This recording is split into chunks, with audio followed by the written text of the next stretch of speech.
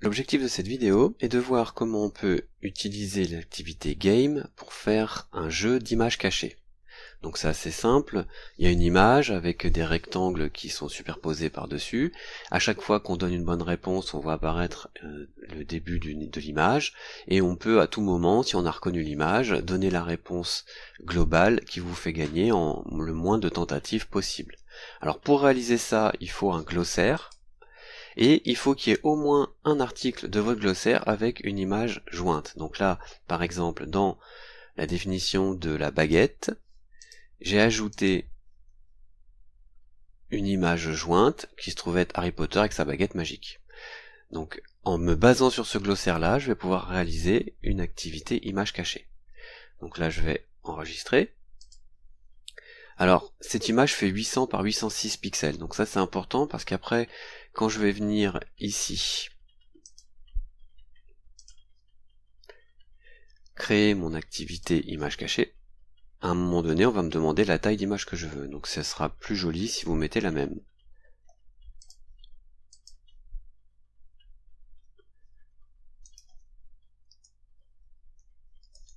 Donc là, je vais, je vais rajouter que c'est pour le module M42. Ensuite, la source, je vais prendre mon glossaire du module M42, parce que là, je suis sûr qu'il y a bien un article avec une image jointe. S'il n'y en a pas, ça ne peut pas marcher. Je pourrais prendre une catégorie de mon glossaire pour faire la liste des définitions, mais là je vais pas m'embêter. Je vais garder tout le glossaire. Je ne vais pas utiliser les articles qui n'ont pas été approuvés par l'enseignant, c'est-à-dire si jamais des élèves ont créé des articles, ils ne seront pas dans la grille tant que je les aurais pas approuvés. Je vais activer le résumé, nombre maximum de tentatives, par exemple je vais donner deux tentatives aux joueurs. Je ne mettrai pas les scores des meilleurs joueurs. Alors ça, ça peut faire un peu d'émulation entre les élèves, mais ça peut aussi faire tout l'inverse, donc euh, je préfère pas faire. Je mettrai une note sur 10.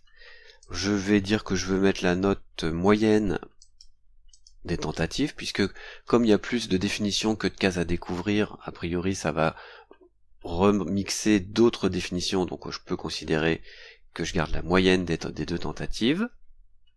Ensuite, les options de l'image cachée, donc là c'est 3 par 3, c'est-à-dire qu'il y aura 9 définitions à trouver. Euh, donc là je vais mettre que mon image fait 800 par 806 pixels. Les espaces dans les nombres, ça ça dépend de votre glossaire. Moi c'est non, en l'occurrence. Les options, là je peux mettre, attention, il faut saisir les accents.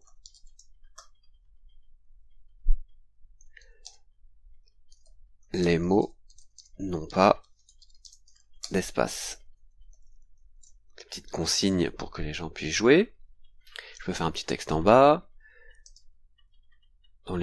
Groupes là, si jamais j'avais plusieurs classes, je pourrais séparer le jeu par classe. Je ne veux pas restreindre l'accès, je vais les laisser marquer qu'ils ont réalisé le petit le petit jeu et je fais enregistrer afficher.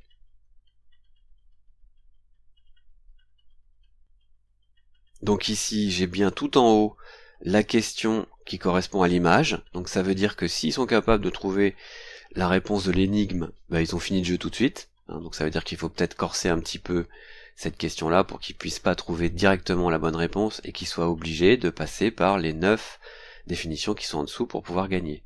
Par exemple ici, le, le numéro 5,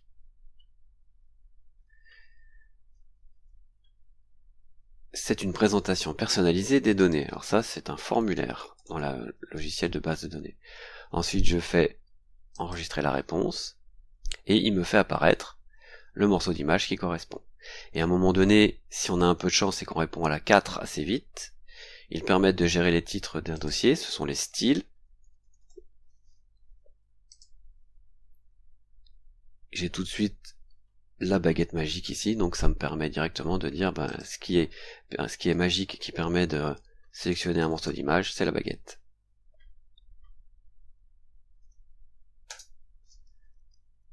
Voilà, j'ai gagné. Bravo.